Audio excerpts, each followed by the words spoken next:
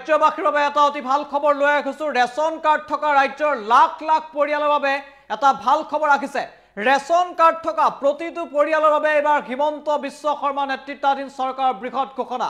মুখ্যমন্ত্ৰীগৰাকীয়ে নিজেই ration card থকা প্ৰতিটো পৰিয়ালৰ বাবে এটা বৃহৎ ঘোষণা কৰিছে।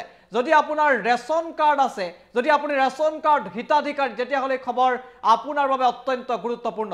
এই মুহূৰ্তত সভাটোক এটা জৰুৰী খবৰ। আমি টাইমটো দৰ্শকসকলৰ বাবে লৈ আহিছোঁ ৰেচন কাৰ্ড থকা পৰিয়াললৈ এটা ভাল খবৰ। যিসকলৰ ৰেচন কাৰ্ড আছে তেওঁলোকৰ বাবে এই মুহূৰ্তত এটা বৃহৎ ঘোষণা কৰা হৈছে। এটা অতি ভাল খবৰ ৰাখিছে ৰেচন কাৰ্ড থকা পৰিয়াললৈ। হিমন্ত চৰকাৰে এইবাৰ ৰেচন কাৰ্ড থকা পৰিয়াললৈ আগবঢ়াইছে বৃহৎ সুবিধা।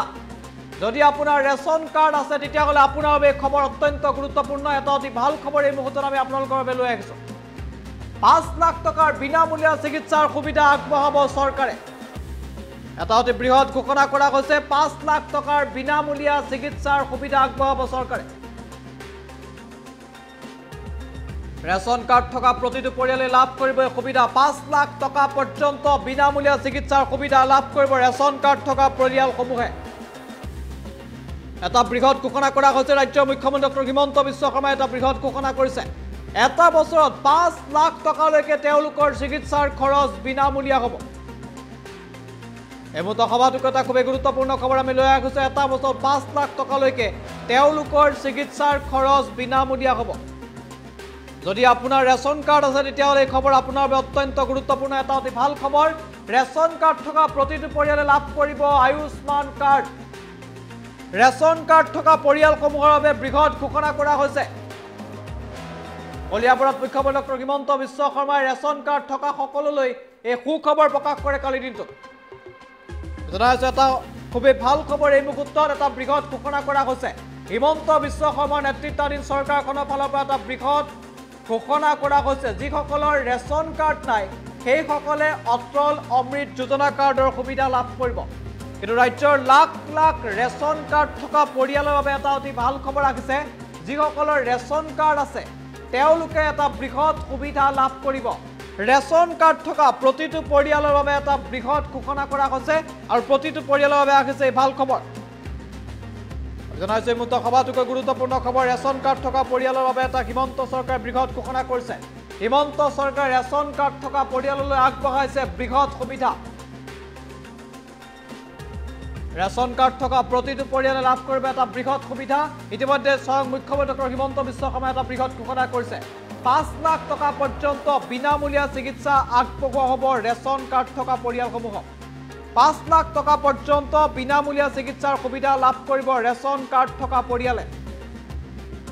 ৰেচন কাৰ্ড থকা প্ৰতিটো পৰিয়ালৰ বাবে এই বৃহৎ ঘোষণা কৰা হৈছে প্ৰতিটো পৰিয়ালে সুবিধা লাভ কৰিব। মুখ্যমন্ত্ৰীগৰাকী কি কথা উল্লেখ কৰিছিল? এই মুহূৰ্তত হিমন্ত বিশ্ব শৰ্মাৰ মন্তব্য আছে। হিমন্ত বিশ্ব শৰ্মাৰ মন্তব্য আগবঢ়াইছো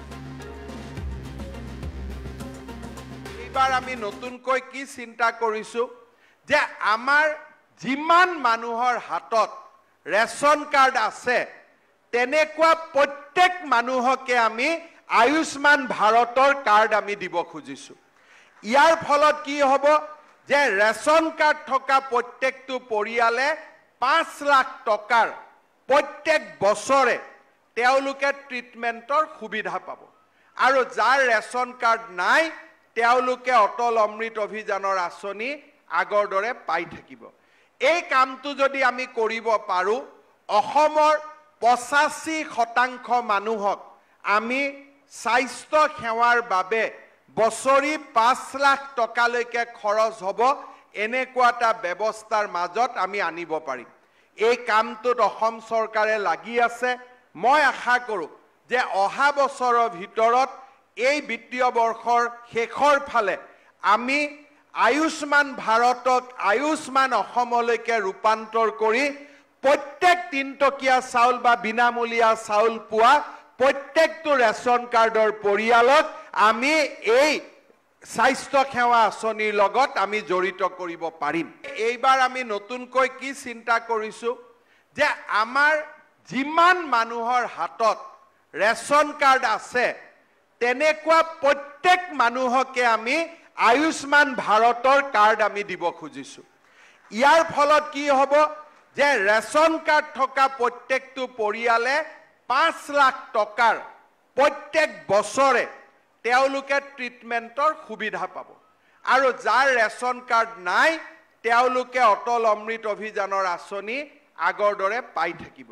এই কামটো যদি আমি কৰিব পাৰোঁ অসমৰ পঁচাশী শতাংশ মানুহক আমি স্বাস্থ্য সেৱাৰ বাবে বছৰি পাঁচ লাখ টকালৈকে খৰচ হ'ব এনেকুৱা এটা ব্যৱস্থাৰ মাজত আমি আনিব পাৰিম। এই কামটোত অসম চৰকাৰে লাগি আছে।